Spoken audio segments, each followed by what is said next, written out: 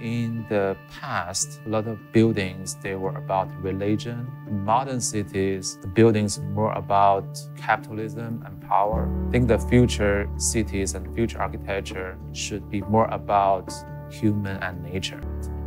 So this building is half nature, half urban. So I think it's a very unique typology uh, we were adding to, to Beverly Hills.